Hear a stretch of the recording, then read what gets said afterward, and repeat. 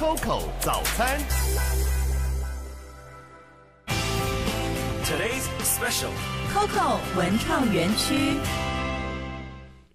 好，时间是七点三十三分十六秒。Coco 文创园区的主讲人，我们的这个科技报局的总编辑，嗯，张玉宁在好现场了。玉宁早。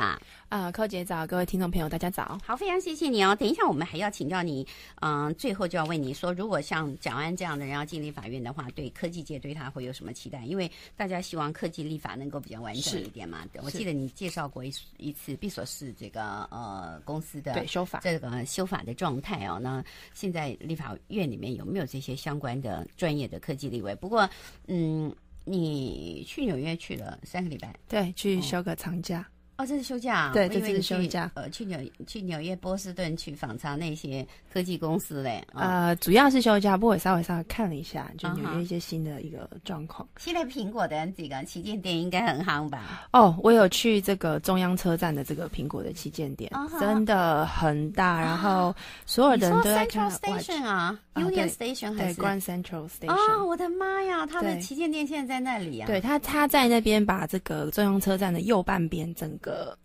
直接包下来，而且它的概念就是它不去动这个中央车站原本的装潢，嗯，所以就是呃苹果的这个服务进驻在中央车站。那因为中央车站其实是纽约整个就是交通的最大的核心嘛，我们就看到非常多不同的国籍的，因为纽约就是一个很多游客的地方，很多移民的地方，很多人就跑去那边看这个苹果的 iWatch，整片的 iWatch。可是现在 iWatch 根本还不能用实体买的耶，还是用网络上预购啊？对，它什么意思？这是什么行销方法呀？因为因为其实 iWatch 它的概念是这样，它包含表带到它的这个这个 iWatch 本身的机子，它都有不同的形式，所以它在网络上订购，它其实意思是说，你可以去订你想要的。这个组合。对，那因为它的这个组合的这个呃件数有点多，所以它的概念其实比较像是，就是说你定了之后，这个苹果它才把它组合起来，就是它有一点点这个概念。但我相信他们其实已经有一些 storage 了，因为我在这个中央车站的现场，我的确有看到有些人在买，就是比较呃初等的这个机种哦，比较所以在实体店哈，还现在台北应该还买不到，没有，现在还没有，因为我嗯这个很想买一只嘛，结果一问嘿。是在美国都还要在对我，我有我同事也本来也拜托我去帮他问问看，我去了之后他就说 sorry，整个全美网络上买。对，好，这个是这个你看到的这个呃，其实我觉得去纽约哦，这个呃，如果早年。我们在一九八零九零年代去纽约，跟现在去纽约完全不一样，因为纽约的市长不一样，是 对不对？哈，嗯，这个有一个市长把这个纽约的治安给哈做好了。好，那我们今天要谈的是呃呃什么样的这个呃主题呢？这个主题。诶，对我来讲有点专业呢。什么叫做 take higher？OK 啊，我今天想来跟大家聊一个，就是奥巴马总统在今年三月的时候，在美国推出了一个叫这个 take higher 的一个 project。那 take higher 简单讲，它就是科技雇佣的一个人才的一个呃专案。好，英文是 take，就是科技的呃字首嘛。对。T E C H hire 就是雇佣，所以叫 take hire。这个是奥巴马的，对他推推出的，等于就是一个就业计划喽。对，嗯，它其实应该算是一个呃人才的培训计划，因为呃，其实呃，美国其实跟台湾一样，就是呃，我们他们都面临了很严重的这个就薪资停滞，嗯，然后他们更严重的一个问题是这个软体人才的这个缺乏。那他们国内在呃分析这个美国整个经济发展的未来的这个发展趋势上面，他们会认为就是他们这个。软体人才的缺乏会导致他们在呃未来的这个经济发展的竞争力上面会遇到很大的一个问题。嗯，所以奥巴马在今年三月的时候就推出了这个 Take High 的这样的一个 project。嗯，那这个 project 比较特别的是说呢，呃，它其实是由这个美国政府投资一亿，但它的一亿币美金，对一亿美金的这样子的一个金额。不过它这一亿美金是呃跟非常多的这个美国当地的呃。跟软体有关的一些企业合作，嗯，那它的合作结构是这样，就它鼓励企业，呃，先 hire 一群有潜力学习这个软体技术的人。啊，然后你雇佣他了之后呢？当然，他的很多职能是本来就是这个企业本来就需求，有潜力学习。那他等于说他的学经历背景要有这样的，呃，不一定，就是说可能你你可能 maybe 你是记者，那你就被被雇佣进去之后呢，这个公司跟呃透过美国政府的一些补助或者一些社群上面的一些合作，在这个公司里面提供跟 coding 就是。城市有关的这个训练课程。哦哦，对，那透过这个方式，他们希望可以呃，先在业界这边先培养一定程度的这个软体人才。所以这些都是政府出出呃资。呃，政府出资跟我们现在国内有一些什么培训中心啊？有一点点类似，其实是有点类似。不过它因为它是把这个培训放在企业内部，啊所以是由企业自己决定它需要什么样子的技能，它的人才需要什么样的 training 跟技能，所以它会比较符合市场的这个需求。嗯那它除了这个专案之外，就是美国政府他这边呃，他会提供一些线上课程的一些服务，就他嗯呃把很多的这个课程放到呃网络上。嗯。然后它是免费的，所以呢，就是如果呃美国的这个呃找工作的人，他如果想要学这样子的一个课程的话，他就可以透过美国政府提供的这样子的一个呃，比如说 camp 或者是线上的课程，就写作营的就呃城市写作营这样子的一个课程，啊他可以先学会，哦，然后同时间又跟呃企业这边有一些的这个合作，所以政府是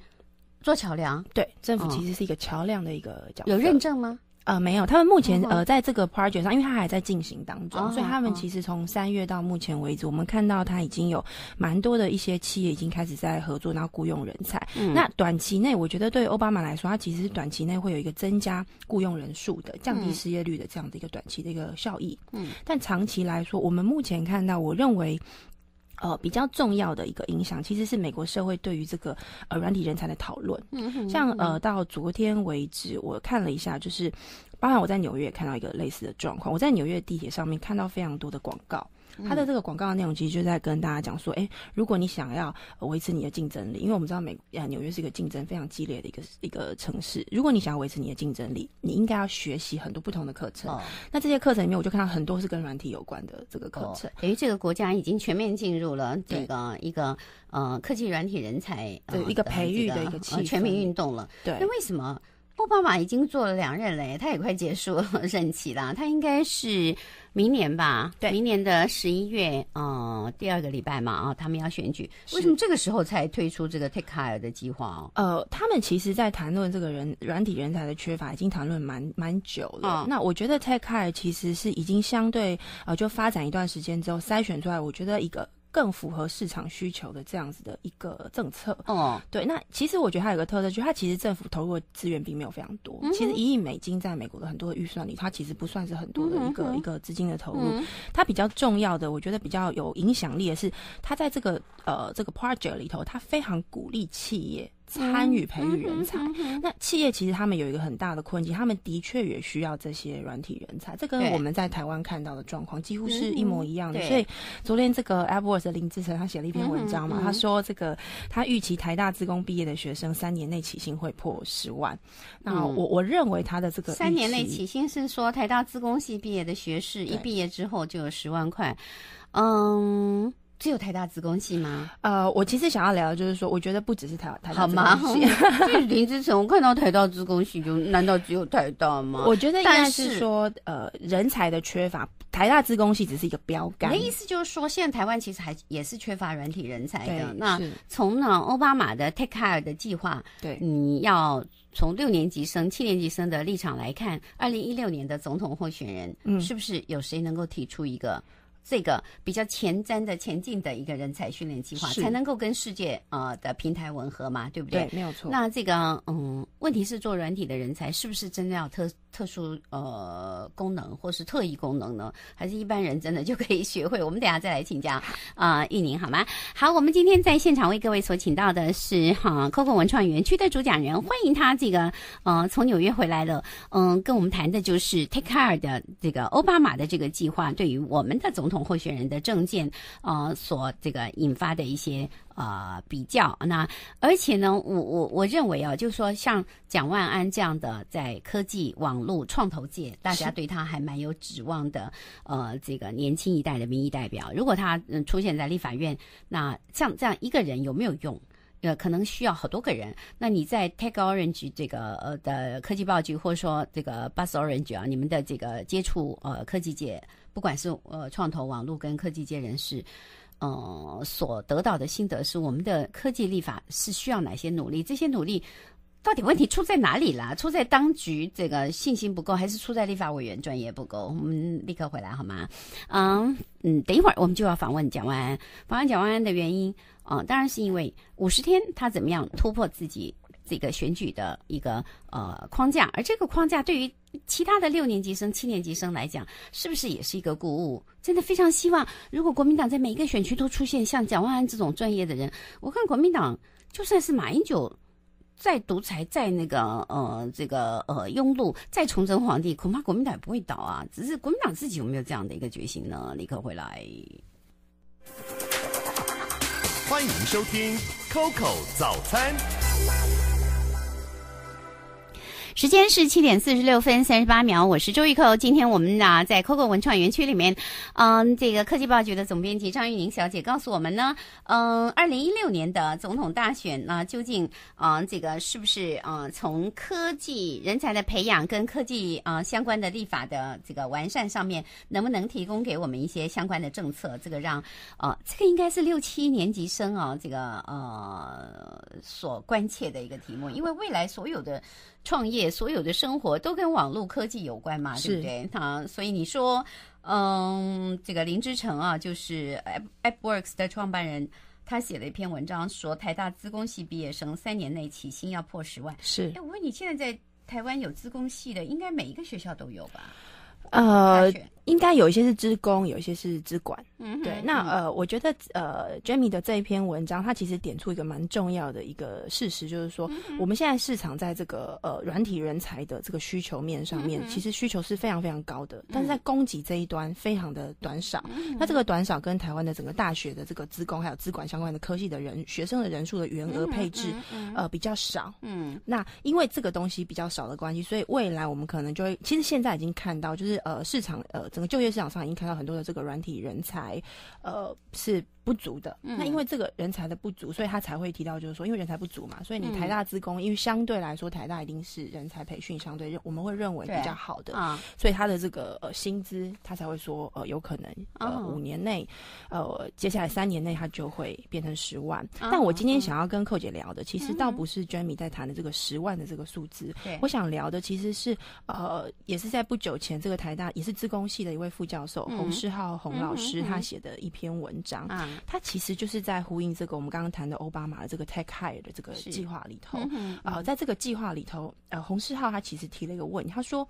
台湾很多的这个软体人才的需求，不见得一定要到台大资工或台大资管，或甚至是呃大学以上的这种资管科系的这个毕业生。嗯，他其实需要的可能是比较呃一般的这种软体训练。哦，所以不需要专门念资工系或者是资管系。对，但是他其实可能就是比较类似像技职体系的这样子的一种软体人才训练。但因为台湾现在其实技职体系其实是有一点点这个崩解的嘛，所以在这一段的人才训练上是不足的。所以洪老师他提出来的一个概念就是说，这个我我其实是。Kobe 他的一句话啦，他觉得这个二零一五年的这个大选，二零一六的大选最好的这个政策牛肉，其实就是提出在这个部分的这种人才培训的一个好的政策。那呃，刚寇姐说这是不是六七年年年级生最在意的？我我觉得不止六七年级生，其实八年级、九年级生也非常在意这个事情，因为他们其实是面临这个台湾的这个失业问题，呃，冲击最。严重的一群年轻的朋友，他们在毕业的时候可能就已经，呃，遇到这个，他念了非常多书，也拿了研究所。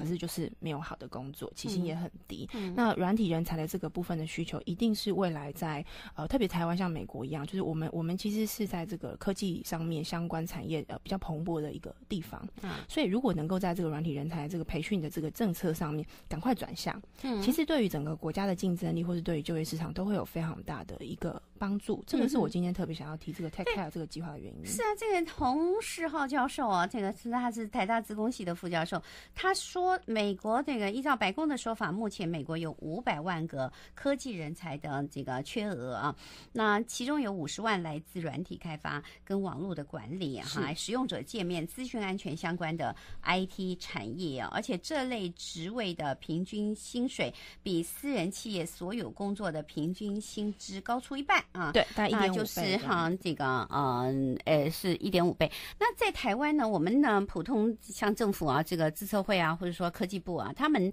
对于我们的科技人才呃的培育方面，他们有说试出什么样的一些呃说明过吗？这个使我想到，现在今年就已经要呃大学就要嗯职考嘛，啊，那呃很多人就要来填志愿了。是，那填志愿的时候，那呃这个相关的政府部门，它会不会有各种不同人才？呃的这个鼓励措施，或者说大学的教育的这个呃呃基本上的呃措施，还是说现在资工系、资管系本来就是很热门的？呃，资工资管其实过去大概这五年来一直都非常热门，可是很多人都会觉得很难去念，那数学不好的人不可以去嗯啊、因为我自己也这种人不是念想到就，要发抖，我我相信我 好我像不是如此哎、我相信，对我相信重点其实是逻辑，因为我我认识很多的工程师，我觉得很很很多很优秀的工程师，我认为他们最强的地方是在他们在很多逻辑判断上面。那、嗯这个逻辑其实也是你在学这些层次的过程当中，你本来就会被训练的。那最难的是什么？网络管理、使用者界面、资讯安全相关的这个科技啊、产业。那呃呃呃，软体开发难道是很多软体开发的这个呃写程式的是呃这个专业人士，他们写一写就不想写了耶，对不对？呃不想写是跑去创业或者是做对啊管理。对啊，呃，我我觉得其实不管是软体开发，觉得无聊啊。呃，我我可能每个人适性不同啦。不过我认识很多的创业者，的确都是从这个软体开发的这个呃城市技术的这个背景出身的。嗯那他们其实在这个过程里面，因为对技术的了解、对产品的理解，在这个过程里面，他们对市场有更多理解之后，他们就嗯转而去创业。那我们看到很多台大的这些呃这两年创业的很多的这个同学们，他们其实有很多是呃资资工资管，再加上其他比如说气管。嗯或者是呃，甚至有些是跟设计科系的同学，他们就合组一个团队，啊那大家分工。那我觉得这个趋势其实你讲的很对，就是说资工资管应该跟气管合组团队，因为我认识一个啊、呃年轻人，他就因为他在金融啊、呃金控集团做这个呃资管的软体开发资管工作，可是前面那些呃金控集团的行销业务人员，比方他们有呃发发信用卡管理，他们有很多这个市场上的需求，对不对？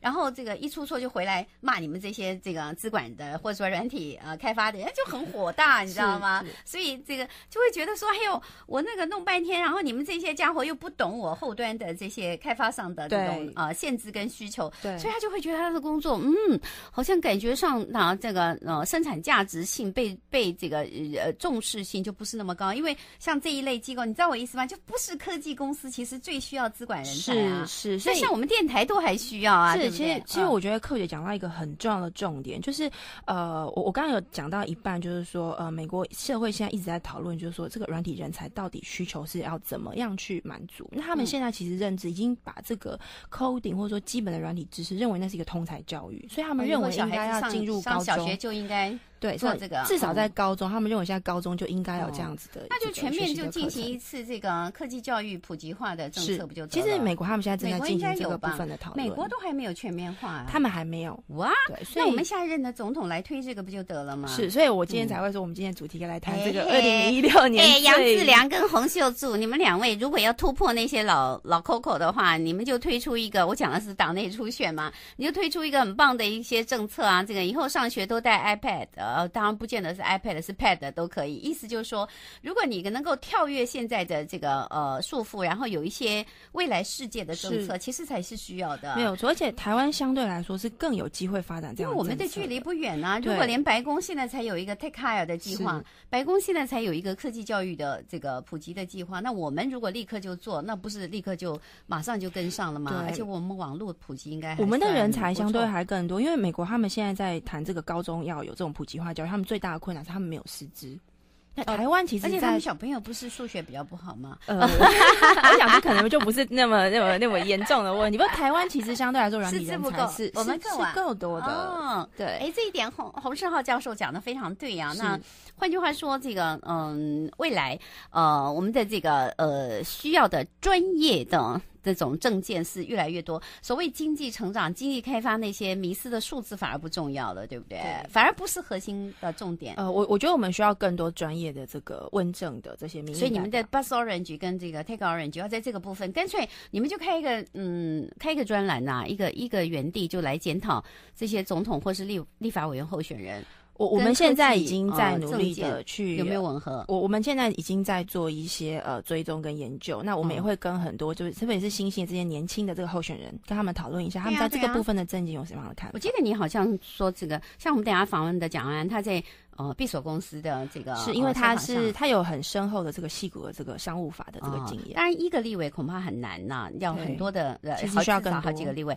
但是这个呃林志成告诉大家，台东台大资工系毕业三年以内可以一毕业就拿十万块台币，嗯、其他资工系应该也差不了多少吧？我想那个人才的需求一定后是越来越高的，所以也就是资讯管理、资讯方面的普及的知识，其实是哈将来就业的一个必要的一个武器喽。是啊，谢谢这是广告时谢谢间，站起